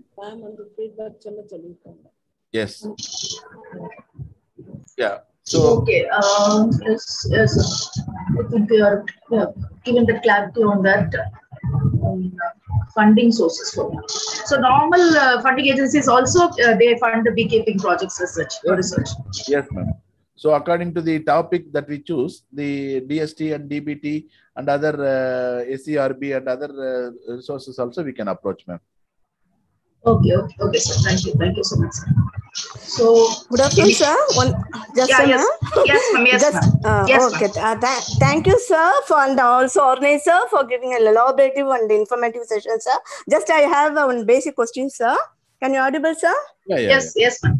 Yes, actually, I also heard about that uh, issues uh, regarding uh, the Dabur brand honey and all the adulterations. Then it is and all uh, what you explained. It's very difficult to predict uh, that quality of honey. Where do we get uh, quality honey, sir? Actually, I heard I go- bought uh, from Madurai, uh, Yeah. where they culture one of the entrepreneur lady. They cultured honey. They also uh, told a lot of varieties of honey, our honey, neem honey, so much of it. Is it, is it uh, reliable, sir? Is it possible to uh, uh, give that much of uh, different types of honey, sir? Like uh, novel honey is good for diabetic and all. They are sold, sir. Is it possible? to Yeah, actually, uh, the honey from particular plants, uh, we call that as the real honey, like uh, the lychee honey, then uh, eucalyptus honey, then uh, sunflower honey, then moringa honey, like that it is there. Uh, but uh, uh, what what do they do as value-added products? They add uh, some uh, material like ginger, or they add some tulasi, uh, or they add uh, like that they add something and then they make other uh, products they are value added products they are not actually the real honey products so such uh, value added products also uh, will be good for uh, health so Okay. normally it is not claimed as honey but uh, they are value added products. They are value added products. Value added products uh, can be used. There is no harm about it. But the claims uh, i cannot say uh, about the claims uh, it is uh, good for this it is good for that. We cannot say. Uh, maybe uh, their knowledge uh, based knowledge based on their knowledge base they are giving that information. Uh, that has to be cross verified but otherwise there are many value added products now. That's right. then uh, where to where do we get sir because uh, it's not possible to do the test and quality and uh, take it uh, this and all not possible then where do we get uh, the Khadi Bhavan they'll uh, uh, where do we get uh, that uh, reliable Yeah, uh, yeah, yeah. product honey Yeah, nor- normally this Khadi and Village Industries Board they are selling good honey. Uh, that that's a really a good honey. Like uh, uh, you can get in most of the uh, Khadi shops, uh, and uh, that uh, Khadi and Village Industries that will be labeled there. Uh, you can just uh, find out uh, that one. Similarly, Marthandam Beekeeper Association they are also selling good honey. Other than that, you can directly go to the beekeeper, the beekeeper who is doing good good beekeeping that you can find out from your location and uh, and then uh, they they they normally do, do not go for adulteration and other things so you just uh, you can go to a reliable beekeeper and then you can buy the honey uh, but uh, not all the beekeepers may be reliable but you have to find out from your experience uh, and from uh, from the, uh, the the reputation they are having based on that you can just uh, do that man. Okay, sir. Thank you. Then uh, Thank one more you. thing, sir. Like apitherapy regarding you told in India they not uh, uh, started like that, but in Madurai that uh, one of the entrepreneur uh, lady they are uh, trying for that one. Sir. Mm, uh, I have also seen that one because he did some uh, stick uh, stinging uh, three times like that uh, for uh, three times you have to come for knee pain and all. How Yeah. much is effective like that, sir? It's uh, Yeah, okay therapy- for knee pain. yeah apitherapy is a proven subject in other countries uh, but uh, in india so far i think they have not permitted uh, uh, any any risk or anything is uh, uh, for, for the individual who is doing that. Uh, and also the person who is getting that. So the risk uh, is spread among these two people. But uh, yeah this this is what i have heard. Maybe in uh, coming days uh, apitherapy may be approved.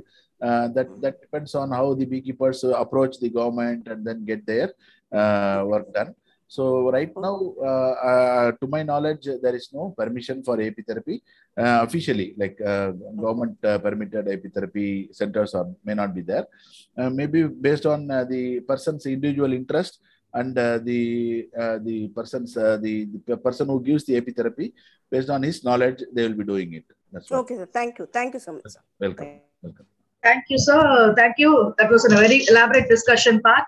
And I think all the participants were very much interested in your lectures. And uh, they have clarified your doubts. And thank you so much for your patient uh, time spending with us and uh, clarifying all the doubts from, uh, uh, from all uh, the participants. And so we move on to the next part. We'd like to have feedback from all the participants who are here. So anyone who is interested to talk and unmute and talk. And we'll have, we'll request, we have two requests from uh, the participants through mail. Uh, two overseas participants from one from China and one from Hong Kong. They have requested uh, that they would like to give their feedback. So can I have Dr. Prabhu Kumar Sitaraman, who is a postdoctoral researcher from Shandong University of Technology, China.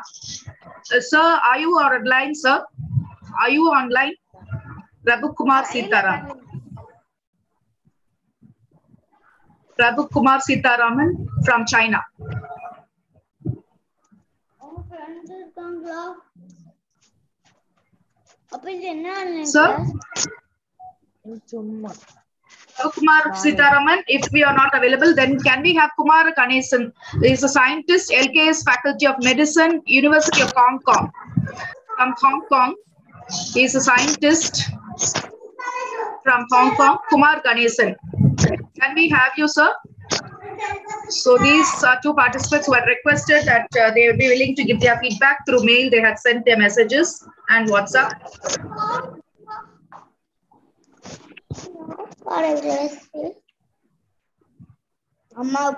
So uh, if both are not available, can, we'll come back to them. Can, any other participants can uh, give their feedback? Yes, Ma'am, Kumar Ganesan sir is uh, now he is online. online. Okay, Kumar Ganesan, sir, please, sir. You so much, sir, for participating from Hong Kong. And please, sir, for your feedback.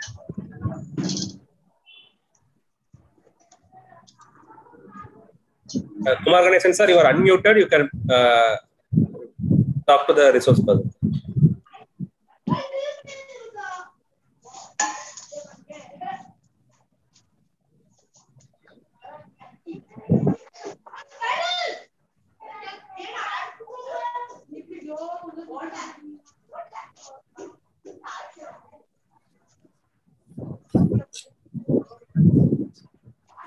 Ma'am, uh, will you please request uh, any other participant, ma'am?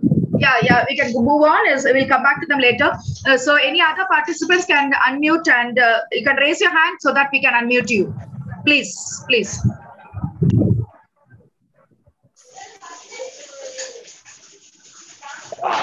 May I? Yes, sir. Yes, sir. Yeah. Uh, actually, thanks to the department and thanks to HOD ma'am for providing an opportunity to talk about this. And uh, it's a week long event and it's so amazing to learn all these new things and from such a resource person and especially with the brush up of our existing knowledge with the latest developments in the field and all this will add to then in this time uh, of this uh, pandemic and all that. So it's like a blessing in disguise to having this kind of programs and to enrich our knowledge and and that too with the because it's not possible offline to attend all these sessions from because i am from the north part of india and it's so amazing to learn all these new things. And thank you so much for providing an opportunity to uh, say a few words about you peoples and all that. And kudos to you and all the organizing team and thank you so much and a huge round of applause from my side Thank you so much, sir. Thank you. Can you just introduce yourself, sir? Your name and from which institution you're from or your scholar.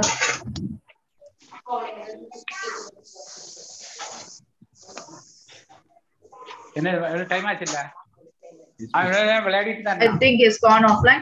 Uh, so thank anyway, thank you. Thank- He was Mr. Anuj. He was Mr. Anuj. Anuj. Okay, Anuj. Okay, Anuj, uh, thank you so much for your comments, for your wonderful comments. And any other participant?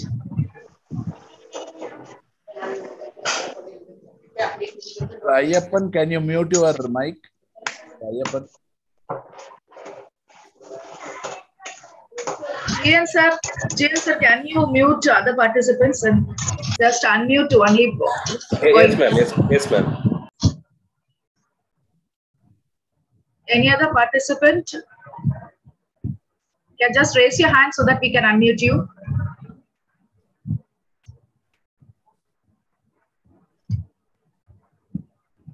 The two participants have raised their hands.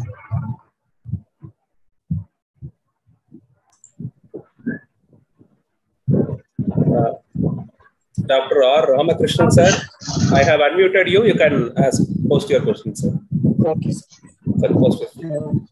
Excellent. No, for the one week program, excellent program organized by VOC college in this, one. uh, very excellent program. They have almost all the sessions are excellent and highly informative with various disciplines. Yes, covered the, all the, all the trustees. Most of the topics are very useful and uh, they are lucid. Their presentation also lucid and very explain, ex, ex, informative. And they have cleared almost all the uh, doubts and clarifications raised by the participants. Uh, my humble request is, is that you have to keep on organizing the webinars in the trust areas in Sure, sir, sure, sir, taken into not only for account. the- for the faculty, faculty members, but also to the uh, yeah students, students, students. Thank you, Ramakrishnan, sir. Thank you, sir. Excellent presentation. Okay. Thank you, sir. Thank Okay, welcome, welcome. Thank you, sir. Thank you for your uh, suggestions. And sure, we'll keep in touch with you as we are organizing other programs also in due course. Sure, sir.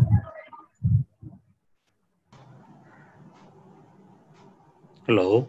Uh, yes, sir. Please, sir. Uh, sir, very good afternoon to all. And my name is Dr. Justin David. I am from Arul Anandar College, Karmatur. I have been attending the session for the past six days. And uh, two things I have really enjoyed uh, is array of speakers that you have brought and the interesting topics which will be useful to the students as well as to the scholars, but also to laymen. So I think this honeybee keeping will be a useful resource for many of our students because we teach agriculture sciences in our uh, rural development science where students are taught to keep uh, taught to uh, uh, grow food crops along with bees actually. So beekeeping is also offered. So i really enjoyed madam. I would like to congratulate the organizers voc college and also the, all the excellent list of speakers and the topics that you have uh, given for the uh, seminar the webinar. Thank you so much madam. Thank you. It is very enlightening for all of us thank you Thank you so much, sir. Thank you for your nice words. And it's uh, uh, nice to hear that you are uh, teaching this uh, as a part of your subject also. So I think uh, it will be very useful for you. So thank you for your uh, compliment and thank you so much. Uh, Nalini ma'am, uh, yeah, please post your feedback. Good afternoon to all. Uh, yeah, as said previously, there were different speakers given very informative talks. Uh, our college is ne- in a rural background, so uh, we are planning for a butterfly park as well as this beekeeping work. So this will be very helpful for us. Thank you very much for this nice program, and thanks to all the organizers. You can have bee park also. Just like butterfly park, you can have bee park also. Ah, yes, sir. Yes, sir. That's what. That, that go to there. Yeah, thank you. I'm from zoology department, Poompuhar College. Okay. fine, fine. Which place, ma'am? Kubar College, which place? Sir, Which place, ma'am? I'm from Poompuhar College near Mailadurai. Mailadurai. Mailadurai. Okay, fine. Okay, thank you so much, ma'am. Thank you for your feedback. And uh, we have uh, two other persons also.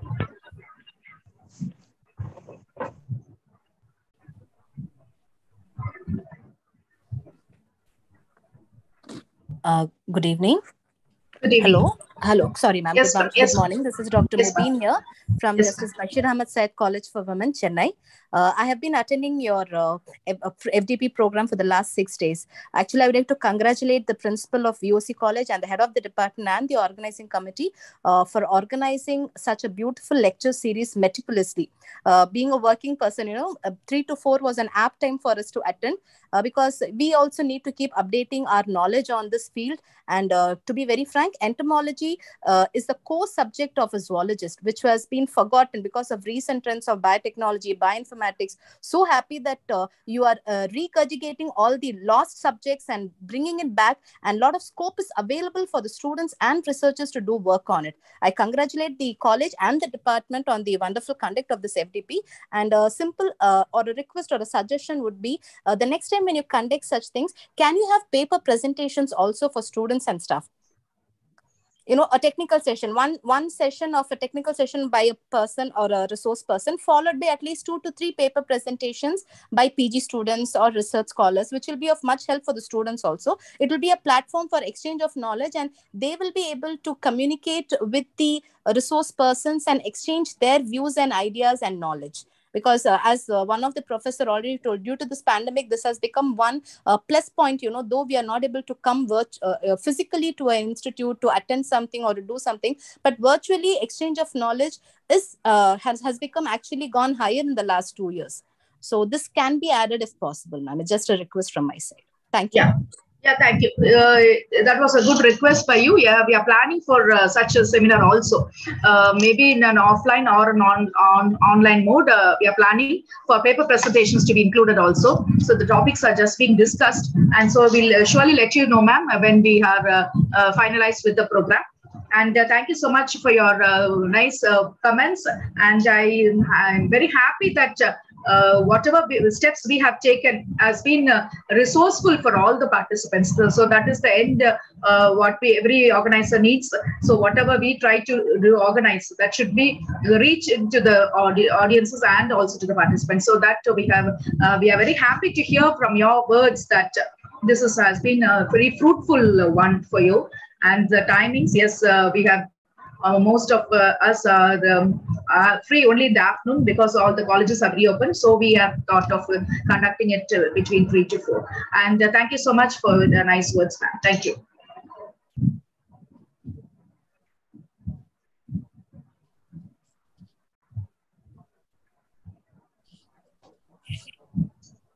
Um, so it's uh, I think it's already getting late and one uh, uh, one more uh, GL sir. I think only one person uh, was there for your feedback. The last one. I think that can be the last one. I think because Yes, we are making sir also to wait for a long time.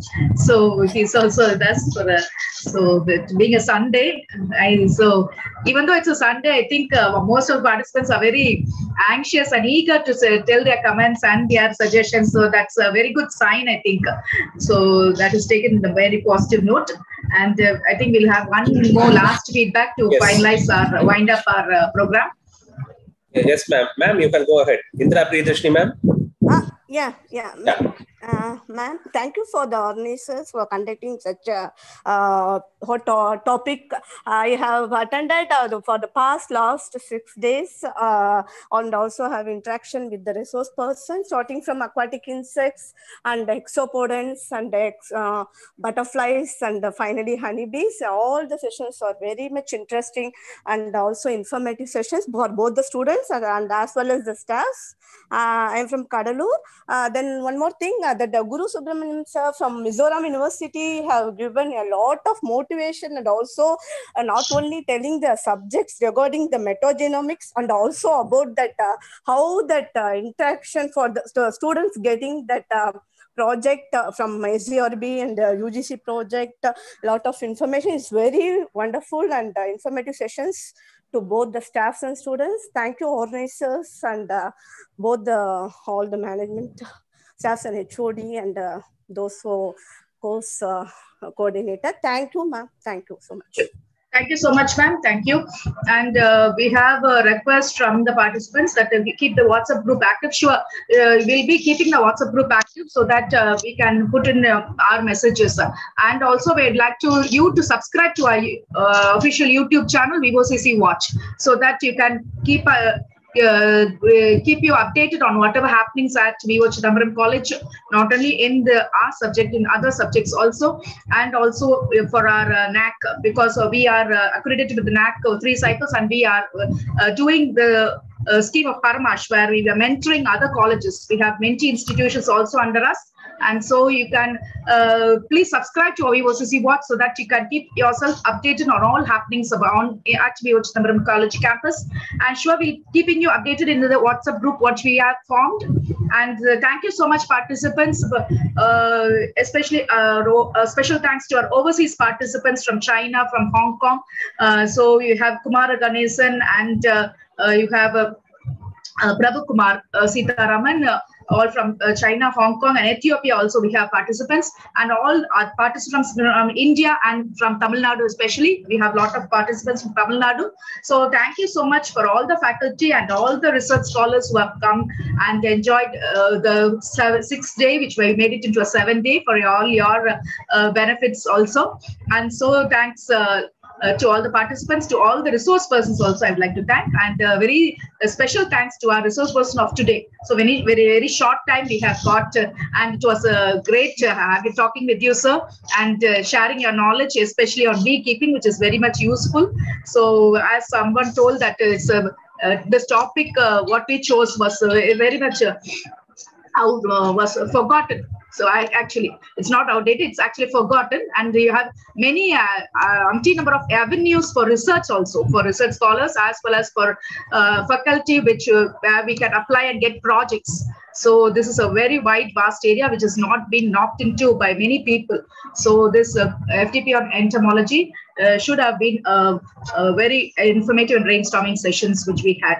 Uh, thank you, the participants, and for the uh, final vote of thanks by the organizer, I give it over to Geeta ma'am.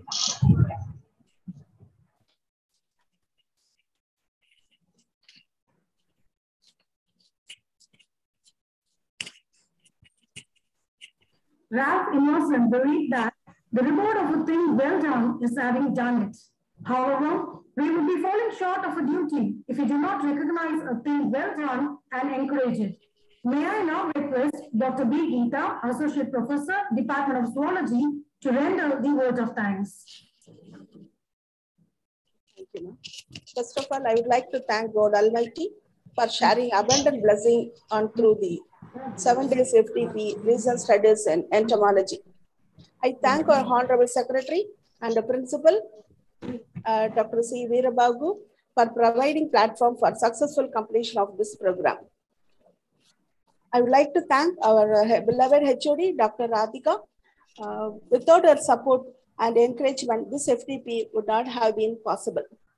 I thank all the uh, eminent resource person right from day one, FDP one to today's resource person, Dr. Srinivasan, Associate Professor, uh, Professor uh, Agricultural University, Coimbatore. So really, your talk was very wonderful for uh, regarding the crop productivity, rural livelihood, and the nutritional security. So and very informative, sir. Your talk. Thank you so much, sir. I thank my colleagues and also I thank uh, all the faculty members from other colleges, universities, uh, research scholars, and abroad. I would like to thank Dr. Gomati Nair, Head Department of Computer Science.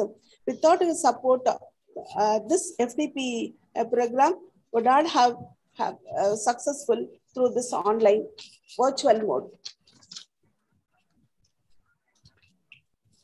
I thank all the participants. Without, uh, without I, I would like to thank all the participants. Without you, this program would not uh, happen in a greater height. Thank you all. Last but lastly, this I thank Naranjani for um, absolutely fantastic uh, master of ceremony job you did. I wish you all success in future. Thank you. Thank you, Ananda. Thank you, ma'am. Thank you, sir. And thank you all the participants. Uh, hope to meet you again in another FDP program, uh, surely to be organized soon. Thank you. Bye-bye. Thank you very much for this opportunity. Very Thank much. you, sir. Thank you. Thank you, ma'am. Thank you, sir. Thank Thank you. Thank you, So dear kind request to the participants, so uh, kindly submit your feedback forms and uh, please wait for your certificates to be dis- uh, sent to you by your mails within one week's time.